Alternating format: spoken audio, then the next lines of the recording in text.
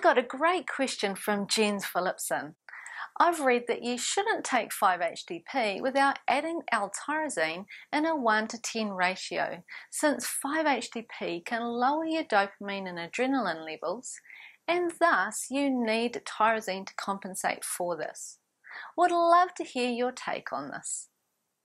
Hey, this is a really common question that I've been getting in response to my 5-HTP video.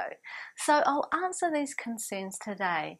I'll firstly review the purpose of taking 5-HTP and, um, and tyrosine, and then I'll discuss whether you should take 5-HTP on its own or not. And finally, I'll give you some dosage suggestions for both L-tyrosine and 5-HTP. Hi, I'm Dr. Janelle Sinclair, and on this YouTube channel we discuss natural strategies for depression and anxiety. So subscribe and hit the bell button to find out about our new weekly videos. Now let's start with some basics about serotonin, 5-HTP, dopamine and tyrosine. Serotonin is an inhibitory neurotransmitter in the brain and it has calming effects on the body. Serotonin deficiency symptoms include depression, anxiety, insomnia, irritability, and even sugar cravings. 5-HTP is made from the amino acid L-tryptophan and 5-HTP is then made into serotonin by the enzyme aromatic amino acid decarboxylase or AAAD for short. Serotonin then goes on to make melatonin the sleep hormone. The purpose of 5-HTP supplement, supplementation is to improve serotonin levels. Dopamine is another happy, reward giving neurotransmitter and helps motivation. Dopamine deficiency symptoms also include depression, but fatigue and inability to feel pleasure, poor motivation, poor concentration, ADHD, and Parkinson's disease. Tyrosine is another amino acid and it's the precursor to dopamine. It's first converted into L-DOPA and then L-DOPA is made into dopamine by the enzyme AAAD. The purpose of taking tyrosine is to improve mood through increasing dopamine levels. What you'll notice is that both serotonin and dopamine production is dependent on the AAAD enzyme. Another thing serotonin and dopamine have in common is that they're both metabolized or broken down in the body by monoamine oxidase or MAO. So let's get to the question about whether it's safe to take 5-HTP on its own or must you take 5-HTP and tyrosine together. Let's get into the question about whether it's safe to take 5-HTP on its own or must you take 5-HTP and tyrosine together? So the major concern here is that if you take 5-HTP on its own, the AAAD enzyme will be too busy working on the 5-HTP supplements, making lots of serotonin, and it will neglect the production of dopamine. The enzyme activity that breaks down serotonin will also rise and because of this the dopamine metabolism will also increase leading to lowered dopamine levels. There is also this, there is also the same concern if you take L-tyrosine supplements on its own, that the body will be making lots of dopamine and serotonin production will drop. Here's my thoughts on these concerns and argument. Firstly, 5-HTP has been used clinically for over 50 years in the treatment of depression with a lot of success. And in the 15 years that I've been working in the natural medicine industry, I have never heard a lecturer say that you shouldn't take 5-HTP on its own. I personally think that the evidence for 5-HTP depleting dopamine and noradrenaline isn't strong or that it is at least quite preliminary. I've only come across one lot of research that people are using as evidence that you must take tyrosine alongside 5-HTP. And if you look at this research by these scientists, they're not trying to prove that you should always take tyrosine with 5-HTP. They're really just validating a urinary testing system for neurotransmitters. They use this system to measure both dopamine and serotonin levels in patients, and they're showing that they can achieve much better clinical results using this test, which guides them on how much tyrosine and 5-HTP patients need to get better.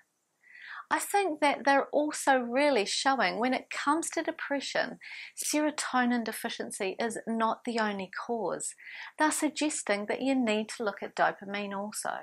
I agree with these researchers that there's not one cause of depression and anxiety. There's much more to the story than serotonin.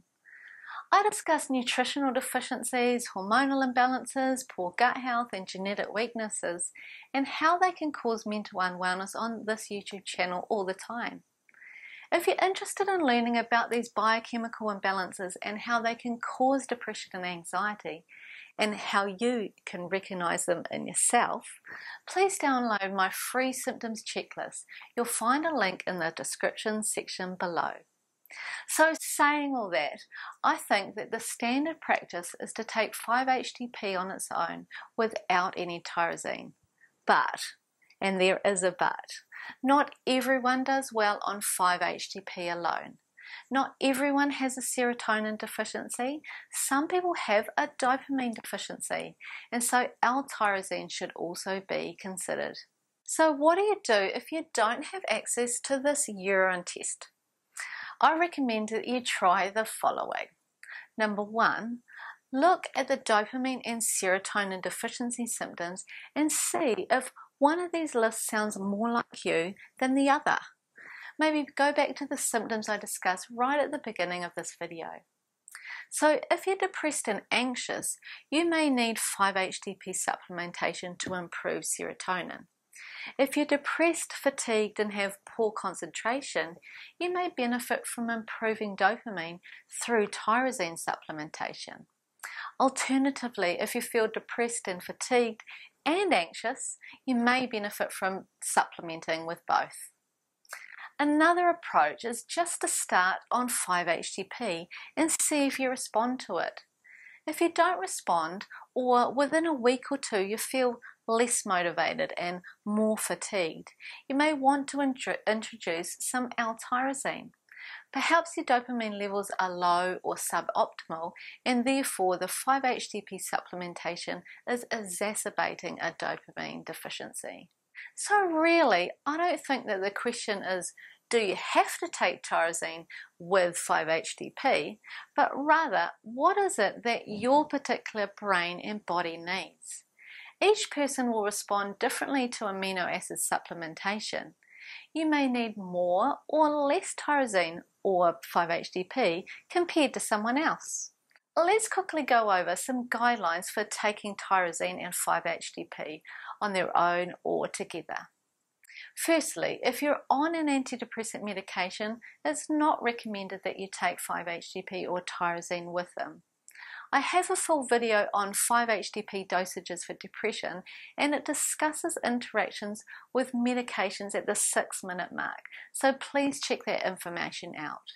If you're on thyroid medication or have high blood pressure, please talk to your doctor or naturopath before starting L-tyrosine supplementation. Do not take L-tyrosine if you have a diagnosis of bipolar disorder.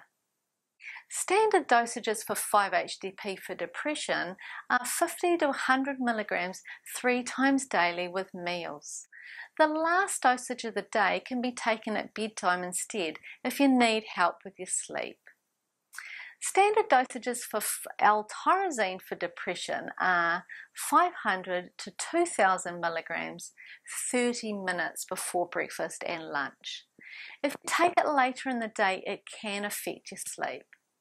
With both of these supplements, I suggest that you start at the lowest dose and increase slowly over four weeks only if necessary.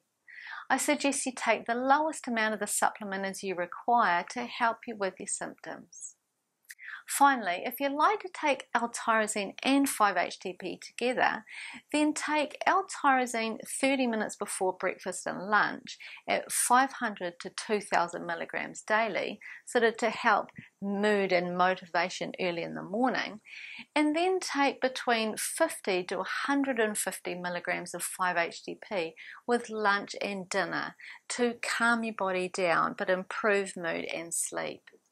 It's often recommended that you take 5-HTP and L-tyrosine at a ratio of 1 to 10. If you follow my recommendations here, then you'll be in the right ballpark. I hope this video has been helpful. Let me know in the comment section below. Thanks for watching and I'll see you next time.